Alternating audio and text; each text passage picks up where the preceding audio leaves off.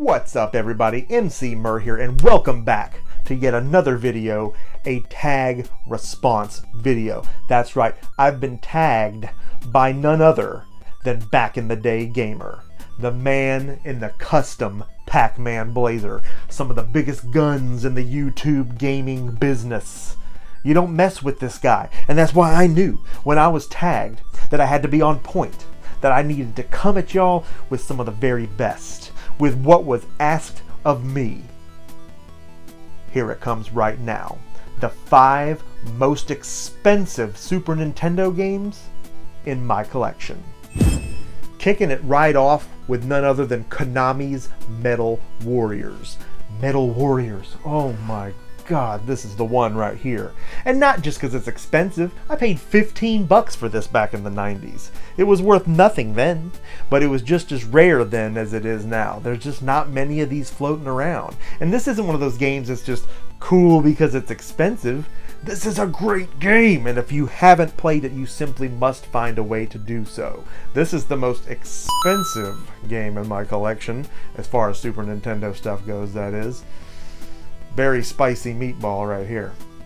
Next up on the list, a game that all of you know and love, and a game that needs no introduction Chrono Trigger.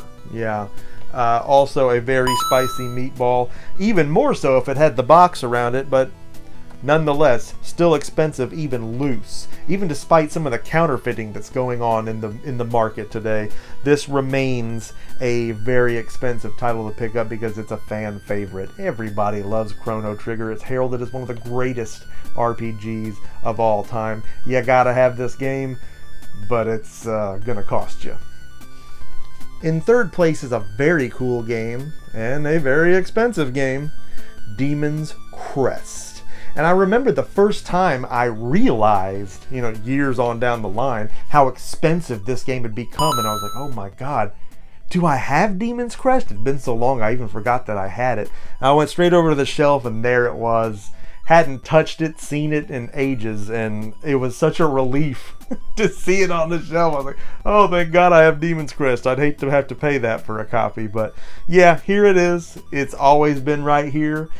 I have no idea where I got it. I have no idea how much I paid for it back when, whenever that was. But here it is Demon's Crest coming in at number three. Taking the fourth place spot, this is a title that has been on a lot of people's lips lately due to the collections coming out surrounding the series Mega Man X2. Yeah. The uh, X2 and X3 for the Super Nintendo are not cheap.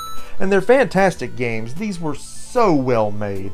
I don't have to tell you. You know, it's Mega Man, it's Capcom, it's synonymous with quality. But another thing it is, is extremely expensive.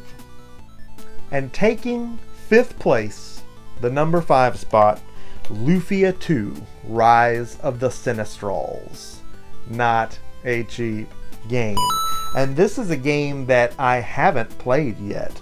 Never had it, never rented it, never saw it for rent, never knew anyone that had it. I know about it, I know what it is, I know what awaits me in this game. But I'm to have to get to a point in my backlog where I finally got time to wail on this thing. So, a fantastic game to have, no doubt, but another game that's to cost you big time. So there you have it, the five most expensive Super Nintendo games in my collection. Now there may be ones in my collection that are worth even more than these. I doubt it, but there could be. I've got so many obscure Super Nintendo games. The market's always changing. Collectors are always going crazy. The market's always fluctuating due to supply and demand. You just never really know what's going on with these things. You know, hidden gems become extraordinarily valuable all the time out of nowhere, and then you, you just can't justify paying for these things anymore. I'm so glad to have acquired these games at the prices that I did. They are very spicy now, would not want to pay those dollar amounts to acquire them today. Thank you so much for taking a look at these with me, and I want to thank Back in the Day Gamer for including me in this fantastic tag response opportunity. Hope you liked what you saw. If you have not checked out Back in the Day Gamer, He's one of my favorites out there in YouTube land. I'm going to leave a link to his channel in the description of this video so you can go check him out. He does fantastic stuff. I also urge you to drop a like on this video. I hope that you did like this video. I hope that you're going to subscribe to the MC Mur Show. If you're not already subscribed to the MC Mur Show, be a part of Mur Nation and all the fantastic things that we're doing right here on the show. Lots more fun things to come. Thanks so much for watching. MC Mur signing off for now. And I will see each and every one of you again next time.